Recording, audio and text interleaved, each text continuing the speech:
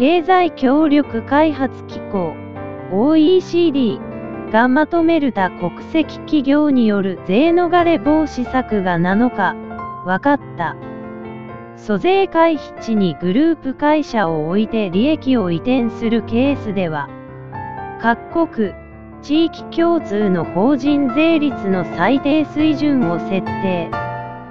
租税回避地で実際に払っている法人税を差し引いて課税する。税逃れが複数の国、地域に及ぶ場合には、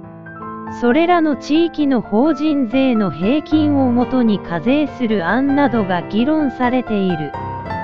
OECD が8日に公表し、新たな国際課税に関して2020年中に策定する最終報告書に盛り込まれる見通しだ。現状では他国籍企業が租税回避地にあるグループ会社に特許料や使用料の支払いといった名目で利益を移し、法人税の負担を免れるといった例が相次いでいる。これに対し、租税回避地の低い税率で納められているグループ会社の法人税を共通の最低水準から差し引いた上で本社のある国が他国籍企業に課税できるようにする。例えば、法人税率の最低水準を15%、租税回避地を2%とすると、差し引いた13%の法人税を課税できる。問題はグループ会社が複数の国、地域にあるケースだ。共通税率の最低水準を15%、グループ会社の所在地親異国10%、